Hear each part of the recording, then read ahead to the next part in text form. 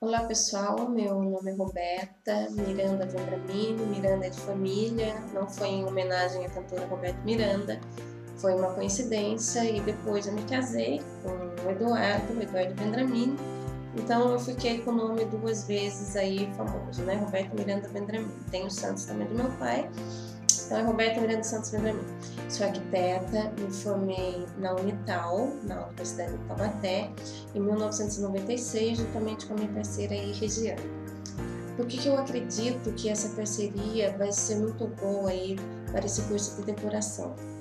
porque a Regiane é uma arquiteta com pé nas artes, é mais artística, ela tem muita experiência em arquitetura de interiores, ela é curadora de arte e também trabalha um pouquinho com marketing. E eu sou uma arquiteta com pé na engenharia.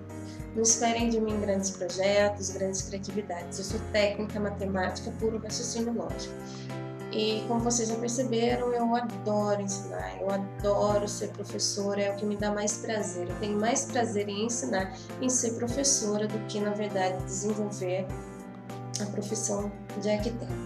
Mas há pouco tempo, há um mês mais ou menos, eu fui chamada em um concurso na Prodesp, na Companhia de Processamento de Dados do Estado de São Paulo, e não tive como recusar, porque é um emprego público, tem estabilidade, vai ter creche, então estou tentando engravidar e vai ser bom para mim e para aposentadoria também. Mas voltando um pouquinho no passado, eu me formei em 1996 e comecei trabalhando com AutoCAD.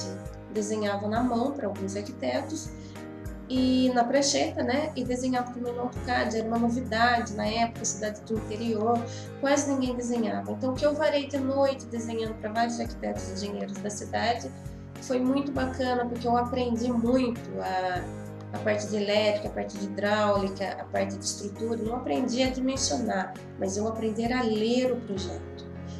Depois eu fui me meter a construir, juntamente com a Regiane também, não deu muito certo, porque nenhuma das duas tem experiência em construção, não, não deu. Não, não foi bacana, mas aprendemos também, quebramos a cara, tivemos um baita prejuízo aí, mas o que valeu a pena foi a experiência também. Depois disso, eu vim para São Paulo em 2003, tive durante sete anos, eu tive escritório próprio. Depois eu vim para São Paulo e vim trabalhar diretamente com a design Simone Marca, que é muito famosa aí na questão do meio gra, no, do design gráfico, na parte de gastronomia. Ela também fez, quase se formou em arquitetura. Então ela precisava de um grupo de arquitetos para ajudá-la a desenvolver o conceito da rede de alimentação da rede Sesc São Paulo.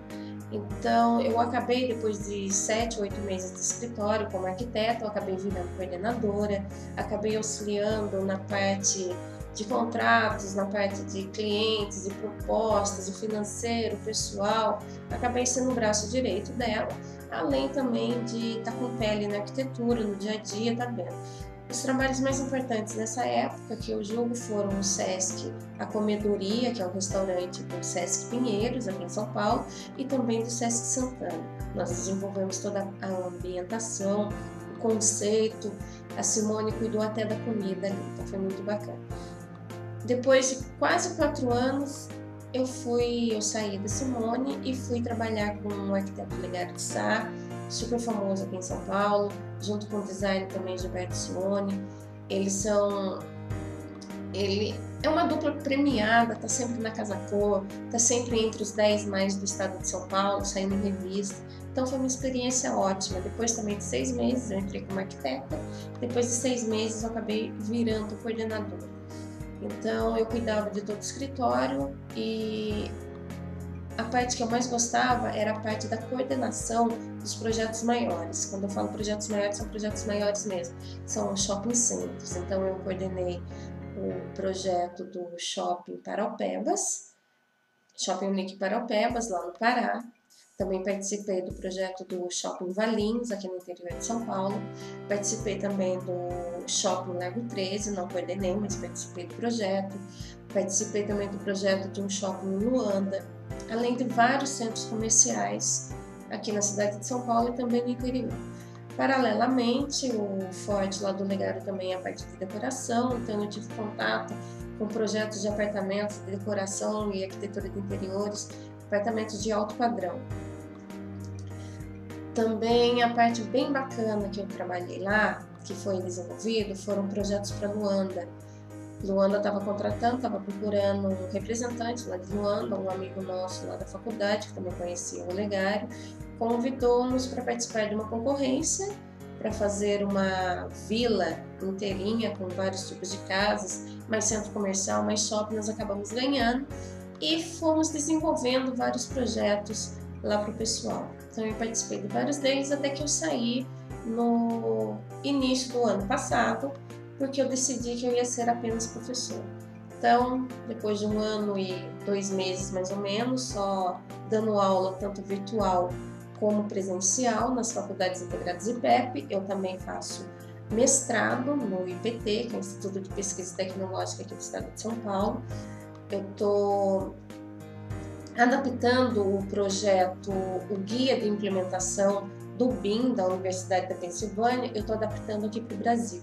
Então é por isso que eu tenho a plataforma BIM, o blog Plataforma BIM, porque o que, que acontece? A literatura é escassa, é difícil de encontrar literatura boa. Então eu resolvi ajudar quem vem aí depois de mim. Então eu estou agrupando plataformabim.com.br todo esse trabalho. Então agora, pessoal, eu vou mostrar para vocês um pouquinho do que eu fiz, alguns projetos aí de shoppings, alguma parte de decoração também que eu participei lá no Legário, alguns projetos de Luana. Então, desejo a todos um excelente curso, espero que vocês gostem muito, que vocês me deem um retorno positivo, como eu tenho tido muitas alegrias aí com o blog da AutoCAD, e eu espero que esse curso aí contribua muito aí para o seu aperfeiçoamento profissional. Então, até mais.